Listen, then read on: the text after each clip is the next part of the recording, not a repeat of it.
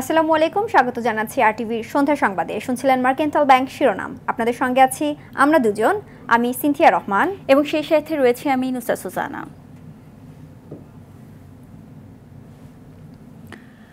Corona সংক্রমণ নিয়ন্ত্রণে আগামী সোমবার থেকে সারা দেশে এক সপ্তাহের জন্য লকডাউন ঘোষণা করতে যাচ্ছে সরকার।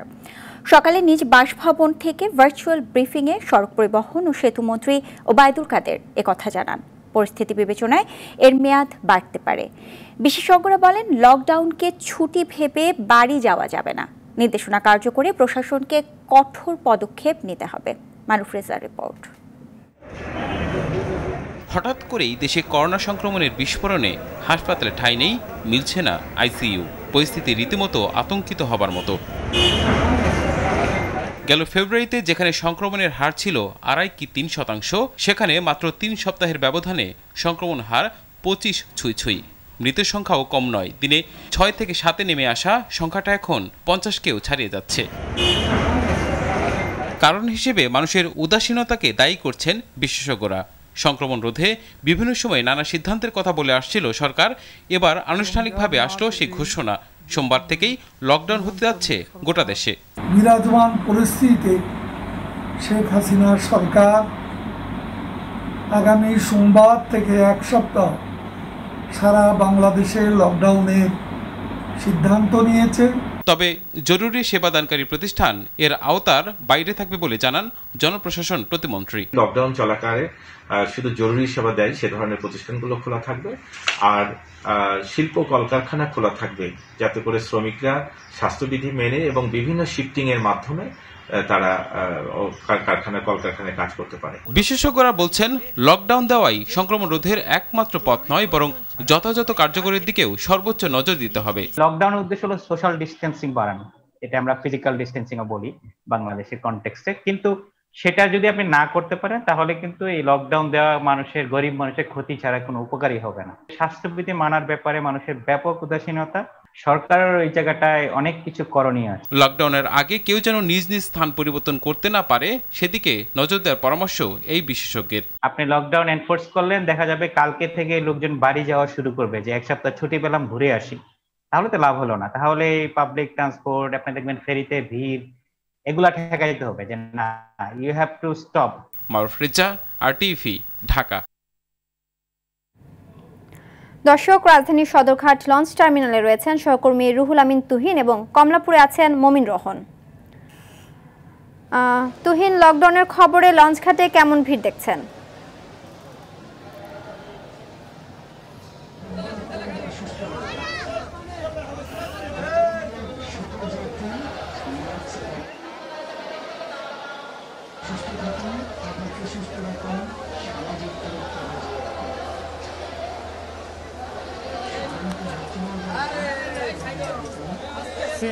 সিনথিয়া যেমনটি জানছিলেন বা আমাদের দর্শকদেরকে এর আগে জানিয়েছেন যে আজকে কিন্তু যে পরিসংখ্যান এসেছে তাতে মৃত্যুর সংখ্যা দাঁড়িয়েছে আটান্ন জন।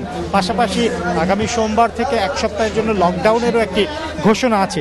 সব মিলিয়ে কিন্তু এর প্রভাবটা পড়েছে যাতায়াত ব্যবস্থার উপরে। আমি এই সদরঘাটে আসতে, আসতেও দেখেছিলাম, রাজধানী জুড়ে কিন্তু প্রতিটি রাস্তাতেই যথেষ্ট পরিমাণে যানজট রয়েছে, অর্থাৎ গাড়ির চাপ বেড়েছে, সবাই ঘরে ফেরার চাপ বা বাড়ি ফেরার চাপ এটি বেড়েছে। পাশাপাশি এর আগে আমি সায়দাবাদে ছিলাম, সেখানেও দেখেছি যে অনেকেই কিন্তু বাড়ি ফিরে যাচ্ছে, যেহেতু এক সপ্তাহের একটা লকডাউন আছে, সেই সময় রাজধানীতে থাকাটা কিন্তু একটা কঠিন বিষয়, যেহেতু সব কিছু আপনি কোথায় যাচ্ছেন এবং কেন যাচ্ছেন?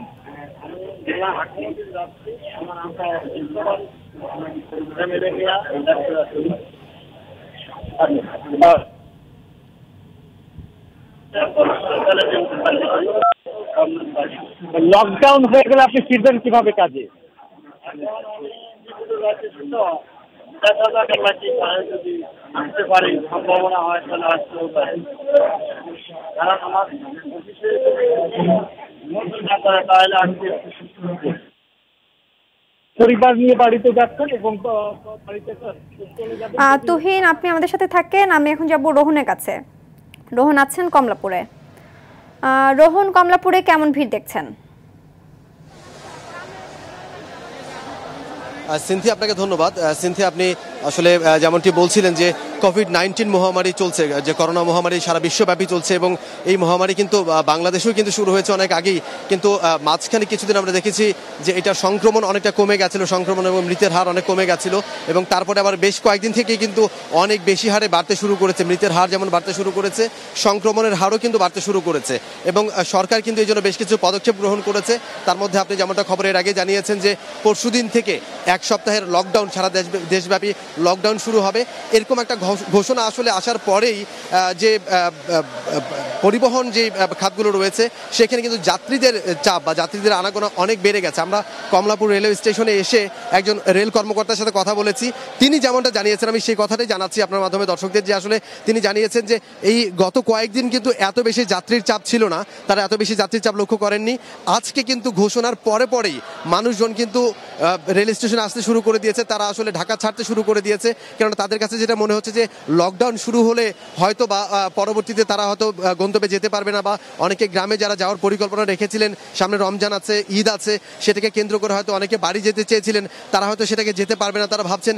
সে কারণে তারা এখনই লকডাউনটা শুরু হওয়ার আগেই আসলে ঢাকা ছাড়বার ব্যবস্থা তারা করছেন এবং সে কারণেই স্টেশনে চলে এসেছেন। আপনি দেখতে পাচ্ছেন আমার ঠিক পেছনে এখানে টিকিট কাউন্টার টিকিট কাউন্টার আপনি দেখতে পাচ্ছেন লম্বা ভিড়, লম্বা সারি টিকিট প্রত্যাশীদের লম্বা সারি তারা আসলে টিকিটের জন্য হুমড়ি খেয়ে পড়েছেন।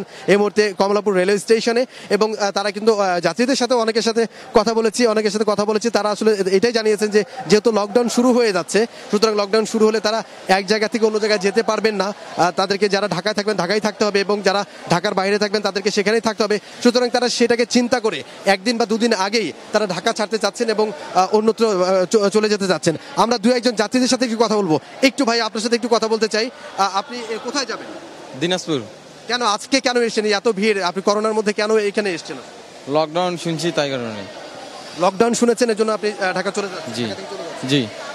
আপনি শুনলেন যে একজন যাত্রীর সাথে কথা বলছিলাম তিনি আসলে যেমনটা জানালেন যে তিনি লকডাউন শুরু হয়ে যাচ্ছে যে কারণে তিনি আগেই ঢাকা ছাড়তে চান ঢাকা থেকে অন্য জায়গায় চলে যেতে চান দিনাজপুরে চলে যেতে চান সে কারণে তিনি আজকে এসেছেন টিকিটের জন্য এবং টিকিট তিনি খুঁজছেন আর কি, আসলে। তো সিনথিয়া রেলওয়ে স্টেশন থেকে আমার কাছে এই ছিল সর্বশেষ। সিনথিয়া। ধন্যবাদ। রাজধানীর সদরঘাট লঞ্চ টার্মিনাল থেকে জানাচ্ছিলেন রুহুল আমিন তুহিন ও কমলাপুর থেকে মমিন রহন। লকডাউনের ঘোষণার পরপরই নিত্যপণ্যের বাজারে ভিড় করছেন সাধারণ মানুষ। লকডাউন ও রমজান উপলক্ষে দাম বাড়তে পারে এই আশঙ্কায় অনেকেই প্রয়োজনের অতিরিক্ত জিনিসপত্র কিনছেন। খুচরা দোকানদারও পণ্য মজুত করছেন। ব্যবসায়ীরা বলছেন, চাহিদা বেশি হলে নিত্যপণ্যের দাম বাড়বেই। এদিকে দোকান মালিক সমিতির সভাপতি দিনে চার ঘণ্টা করে বিপণী বিতান খোলা রাখার দাবি জানিয়েছেন। আতিকার রহমানের রিপোর্টে থাকছে বিস্তারিত। এক সপ্তাহে লকডাউন ঘোষণার পর থেকেই অনেক মানুষ বাজারে ছুটছেন। হুমড়ি খেয়ে পড়ছেন দোকানে। কিছুদিন পর রোজা, অন্যদিকে লকডাউন দুইয়ে মিলে বাজারে ভিড়। দোকান বন্ধ থাকতে পারে দাম বাড়তে পারে। এসব আশঙ্কায় প্রয়োজনীয় জিনিসপত্র কিনছেন মানুষ। অনেকে আবার প্রয়োজনীয় অতিরিক্ত জিনিসও কিনতে দেখা যায়। সাধারণ মানুষের পাশাপাশি রাজধানীর কাউরান বাজারে ভিড় করছেন খুচরা ব্যবসায়ীরা। মনে করে যে আর বাজারও কিছু পাওয়া যাবে না আগে ভাগে কিনে নিই। মুরগির দাম অলরেডি দুশো পঞ্চাশ থেকে বাড়তে বাড়তে তিনশো ষাট অলরেডি চলে আসছে। এখন আমি জানি না যে দেখব যে আসলে মুরগি আদৌ কিনতে পারব কিনা জানি না। অজুহাতে যারা ব্যবসা করছে প্রতিনিয়ত দাম বাড়ছে বাড়াচ্ছে। আর লকডাউনের কথা শুনে আকাশচুম্বী তীর পাঁচ লিটার তেলের দাম এখন ছয়শো টাকা যেটা ছিল পাঁচশো বিশ টাকা। নিত্যপণ্যের দাম নিয়ে চরম ক্ষোভ সাধারণ মানুষের মধ্যে। তারা বলছেন রমজান উপলক্ষে চাল ডাল তেল ছোলা ও চিনির দাম বেড়েছে। এর উপর লকডাউনের দাম বাড়লে তা ক্রয়সীমার বাইরে চলে যাবে। তো আমাদের জন্যই হচ্ছে আমরা ঠিকমতো স্বাস্থ্যবিধিটা মানি না বা সব কিছু আমরা সব উদাসীন। বিশ্বের সব দেশে রমজানে বা বিভিন্ন অনুষ্ঠানে জিনিসপত্রের দাম কমে আর আমাদের দেশে এই অনুষ্ঠান মালার সময় জিনিসপত্রের দাম বাড়ে। এটা একটা দুঃখজনক ব্যাপার। দোকানটা ঠিক থাকলে চাহিদা বাড়লেও আমার মনে হয় দাম খুব একটা বাড়বে না। আর ওই মানে অসাধু সিন্ডিকেট যে জিনিসটা, ওই জিনিসটা বন্ধ করতে চেষ্টা করতে হবে এবং ওইটা বন্ধ না করলে দাম কমানো যাবে না। খুচরা বিক্রেতারা বলছেন ক্রেতারা হুমড়ি খেয়ে জিনিসপত্র কিনলে পণ্যের চাহিদা বাড়বে আর তখন পাইকাররা দাম বাড়িয়ে দেবেন ফলে জিনিসপত্রের দাম বৃদ্ধি পাবে। যদি এটা চাহিদা বাড়ে তখন জিনিসের দাম বাড়ায় নেব। পেঁয়াজ নিত্যপূর্ণ সোলা ডাইল খেসারি এগুলো দেখা যাচ্ছে কেউ এক কেজি প্রয়োজন সেই পাঁচ কেজি দশ কেজি কিনবো। এই কারণে জিনিসের চাহিদা বাড়ার কারণে দামটা বাড়ায় দেয় ব্যবসায়ীরা। লকডাউনের সিদ্ধান্তের প্রেক্ষিতে বাংলাদেশ দোকান মালিক সমিতির সভাপতি হেলাল উদ্দিন ব্যবসায়ীদের লোকসান ঠেকাতে চার ঘণ্টা করে দোকান চালু রাখার দাবি জানিয়েছেন। দশজন দশজন করে কাস্টমারকে ভিতরে ঢুকিয়ে আমরা হোলসেলটা যাতে আমরা করতে পারি এবং হোলসেল না করতে পারলে রমজানে কিন্তু খুচরা ব্যবসায়ীরা ব্যবসা করতে পারবে না। অথবা আমাদের দিকে তাকিয়ে অন্তত এইটুকু সুযোগ যদি আমাদের দেওয়া হয় যে আমরা চার ঘণ্টা আমরা ব্যবসা পরিচালনা করব একশো পার্সেন্ট স্বাস্থ্যবিধি মেনে। অন্যথা আমাদের ব্যবসা কিন্তু লক্ষ লক্ষ ব্যবসায়ীরা রাস্তায় বসে যাবে। করোনা সংক্রমণ ও মৃত্যুর হার ঊর্ধ্বমুখী থাকলেও এখনও বিভিন্ন বাজারে মাস্ক না পরা সহ স্বাস্থ্যবিধি মানছেন না বেশিরভাগ মানুষ। Atika Rahman R TV Dhaka. দর্শক স্বাস্থ্য অধিদপ্তরের মহাপরিচালক কথা বলছেন সাংবাদিকদের সাথে। আমরা সরাসরি চলে যাচ্ছি সেখানে। স্বাধীনতা দেওয়া হয়েছে যে আমরা আমাদের অফিসের প্ল্যান অনুযায়ী আমরা আমাদের কর্মপরিধিকে সাজাতে পারব।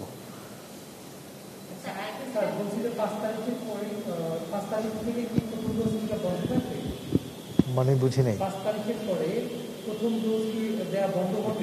না, এই সিদ্ধান্তটাই আমরা নিব। বললাম তো যে কীভাবে করব। আপনারা তো জানেন সমস্ত কিছু। তো কাজেই আমাদেরকে, আমাদের অবস্থা অনুযায়ী ব্যাপারটাকে সাজাতে হবে। একদম মানে ওয়াটার টাইট কম্পার্টমেন্টের মতো না যে আমরা এটাই করব এটাই করব না। এটা ঠিক বলা যাবে না। আমার মনে হয় যে আমরা আমাদের অবস্থা অনুযায়ী আমাদের সমস্ত পরিকল্পনাগুলোকে বারবারই চেঞ্জ করে চেঞ্জ করে অবস্থার সাথে সাথে তাল মিলিয়ে যেতে হবে, যাতে করে কাজটা উদ্ধার হয়। সেটাই হচ্ছে বড় কথা। ঠিক আছে?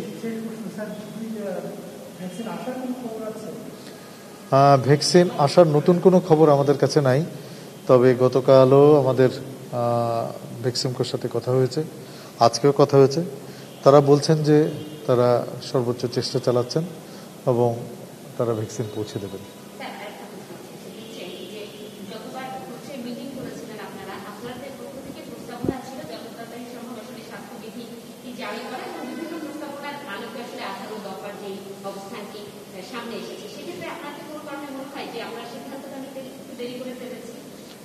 দেখুন, মানব, সমস্ত কিছুই তো হচ্ছে গিয়ে মানুষের বাঁচা, মরা, জীবন, জীবিকা অনেক কিছুর উপর নির্ভর করে, তাই না? একটা জিনিস হুট করেই করাটা কতখানি সম্ভব, বাস্তবসম্মত, সেটা বিবেচনা করতেও মানুষ সময় নেয়। আমি মনে করি যে এটা খুব বেশি দেরি হয়নি এবং সময় মতনই সরকার সঠিক সিদ্ধান্তটা নিয়েছে। আপনারা আগেও দেখেছেন মাননীয় প্রধানমন্ত্রী, ওই সময় ওই সিদ্ধান্তটা যদি না নিতেন, তাহলে পরে আমরা যত না মানুষ এই করোনাতে আক্রান্ত হয়ে মারা যেতেন, তার চেয়ে বেশি মানুষ অনাহারে মারা যেতেন। এটা সত্য। আমাদের অর্থনীতি কিন্তু দর্শক, শুনছিলেন স্বাস্থ্য অধিদপ্তরের মহাপরিচালকের দেয়া বক্তব্য সাংবাদিকদের কাছে। এই মুহূর্তে কারণ বাজার এলাকায় আছেন সহকর্মী মায়দুর রহমান রুবেল। সরাসরি চলে যাচ্ছি আমরা সেখানে। রুবেল লকডাউন ঘোষণার পর বাজারে ক্রেতাদের ভিড় কেমন দেখছেন? আমাদেরকে বিস্তারিত জানান।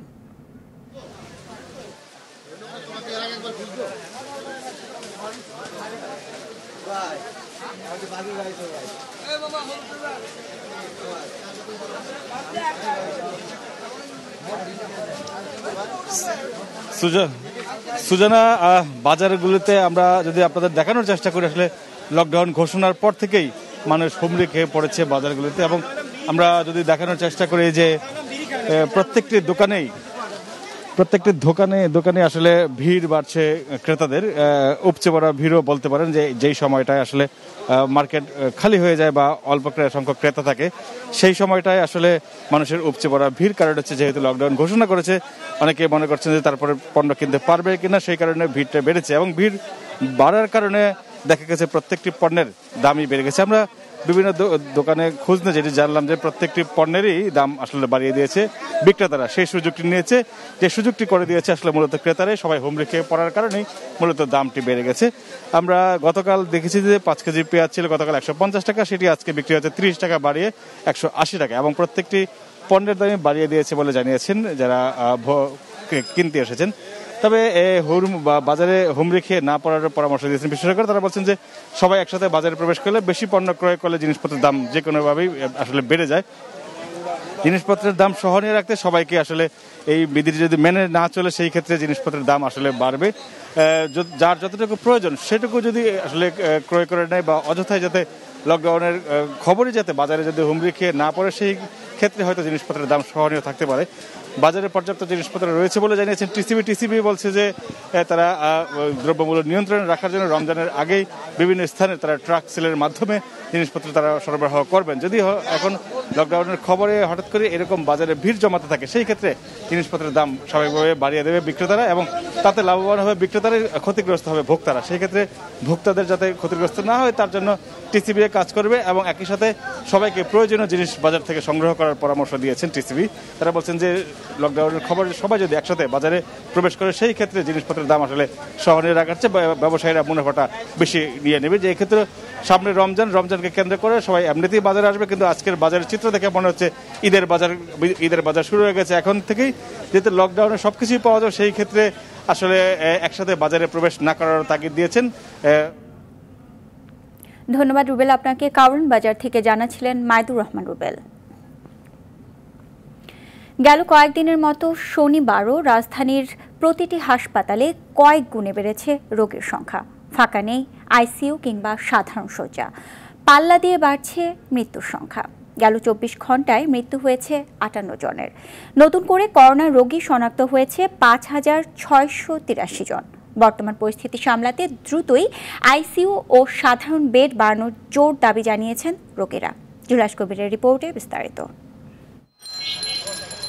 নিয়ন্ত্রণের বাইরে করোনা পরিস্থিতি। ফলাফল প্রতিদিন কয়েক গুণে বাড়ছে রোগীর সংখ্যা। রোগীর চাপ সামাল দিতে হিমশিম খাচ্ছে রাজধানীর সরকারি দশটি কোভিড হাসপাতাল সহ অন্যান্য হাসপাতালগুলো। খালি নেই আইসিইউ কিংবা সাধারণ বেড।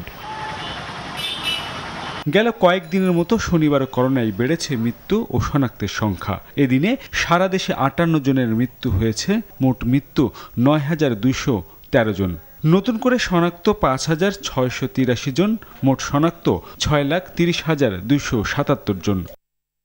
বাড়ছে করোনার স্যাম্পল দিতে আসা মানুষের সংখ্যাও। রাজধানীর মুগদা জেনারেল হাসপাতালে এমনই ভিড় ছিল সকাল থেকেই। অভিযোগেরও কমতি ছিল না তাদের। বাইরে কতক্ষণ দাঁড়ায় থাকা যায়? তো সে রং টাইম দাঁড়ায় তার কারণেই এই ভালো ভালো লোকগুলো অনেক সময় অসুস্থ হয়ে পড়তেছে। কারণ আড়াইশো টিকিট দিয়ে রাখছে কোঠা বাড়াও কারণ তো আস্তে আস্তে বাড়তেছে নাকি? অসুস্থ হয়ে এখানে বসে থাকাটা অনেক টাফ কিন্তু সেই ক্ষেত্রে সরকার কেন দৃষ্টিপাত করছে না? আমি তো সেটা বুঝি না। সিস্টেমটা পাল্টাতে হবে একটু মানে ভিন্ন দুইটা বুথ করে যদি দেয় মহিলাদের আলাদা ছেলেদের আলাদা তাহলে সিস্টেমটা সুন্দরভাবে অতি দ্রুত কার্যকর হতো। হাসপাতালটিতে অক্সিজেন সহ বেডের যে সংকট তা নিরসনে কর্তৃপক্ষ কাজ করছে বলে জানান এই কর্মকর্তা। আমাদের হসপিটালে থ্রি থার্টি বেডেড হলেও আমাদের ক্লোজ টু এর কাছাকাছি পুরোপুরি প্রায় স্যাচুরেটেড ডিএনসিতে সরকার এক হাজার বেডের একটা হসপিটাল করছে। এটিকে অত্যন্ত দ্রুততার সঙ্গে যাতে সাত দিন মানে সাত দিনই হয়। সেভাবে যদি চিকিৎসা ব্যবস্থাটা করা যায় তাহলে নিশ্চয়ই ওভারকাম করা যাবে। একই পরিস্থিতি বঙ্গবন্ধু শেখ মুজিব মেডিকেল বিশ্ববিদ্যালয়ের এই কেন্দ্রে সক্ষমতার অধিক লোক আসছেন এখানে। অভিযোগও বাড়ছে দিন দিন প্রিন্টার ও সার্ভারের সমস্যায় ভোগান্তি পোয়াতে হয়েছে অনেককে। ডিস্টার্ব দিচ্ছে প্রিন্টারে। তাই প্রিন্টারে ডিস্টার্ব দিলে আরেকটা রেডি করে রাখেন। যেহেতু রুগী তো আসবে রুগী তো আর বাসায় বসে থাকবে না। রোগীদের অভিযোগগুলো আমলে নিয়ে কাজ করা হচ্ছে বলে জানায় কর্তৃপক্ষ। ছয়শো পঁচানব্বইটা স্যাম্পলই কালেক্ট হয়েছে বৃহস্পতিবারে। আমার পিসিআর মেশিন তো বাড়ে নাই স্যাম্পল বেড়েছে।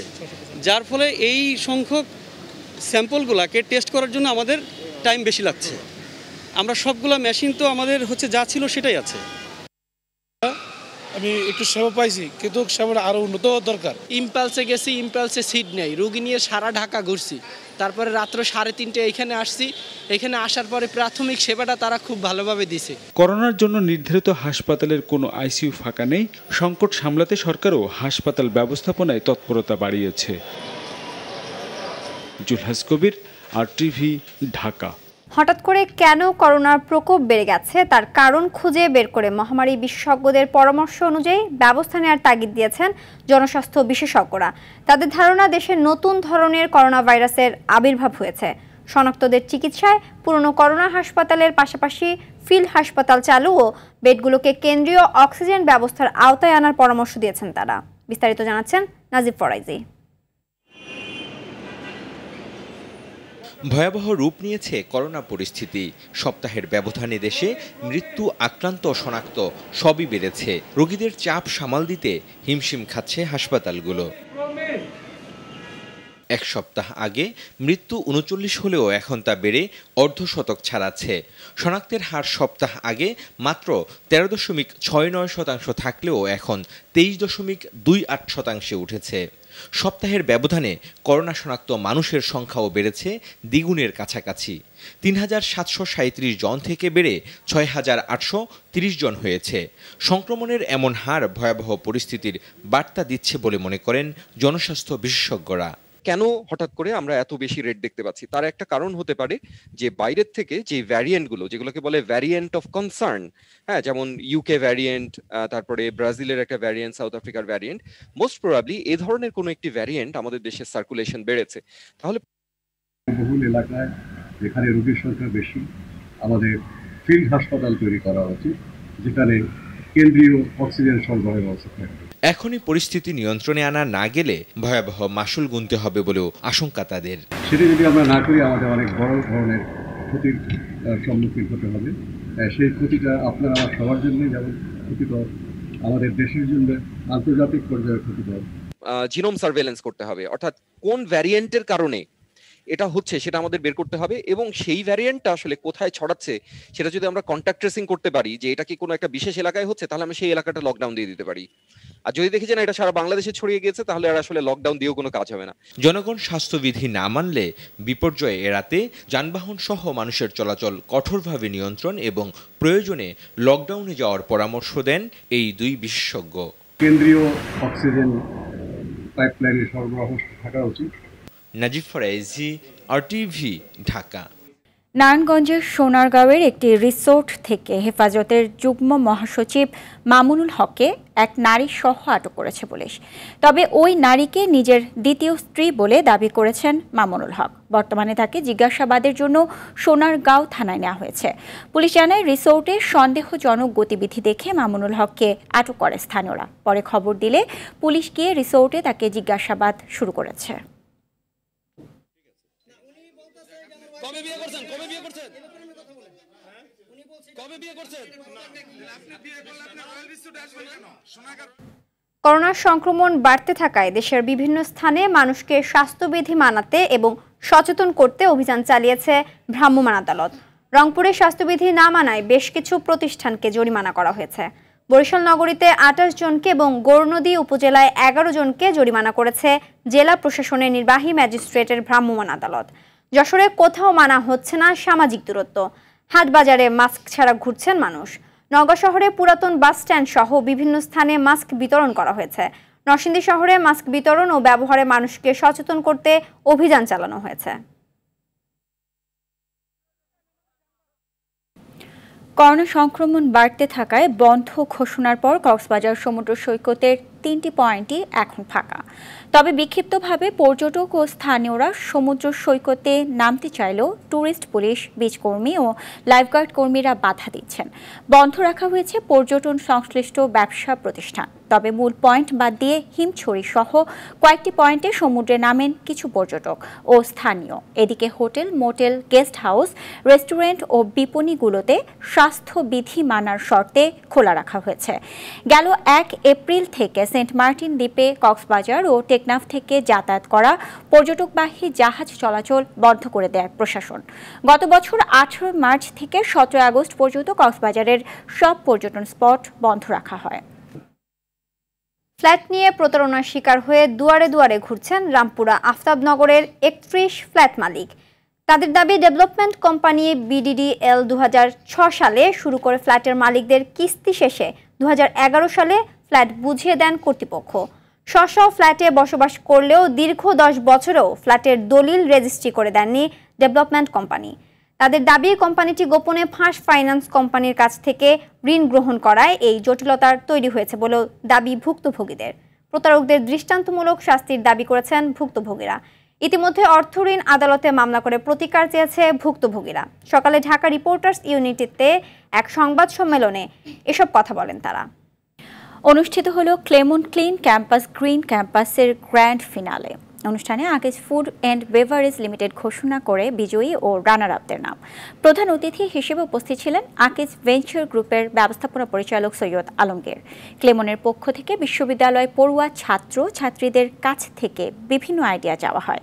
দেশজুড়ে বিভিন্ন ক্যাম্পাসের শিক্ষার্থীদের কাছ থেকে পাঁচশো সাতাশিটি অভিনব আইডিয়া সংগ্রহ করে ক্লেমন। সেখান থেকে সেরা দশ আইডিয়া থেকে বেছে নেওয়া হয় বিজয়ীদের নাম।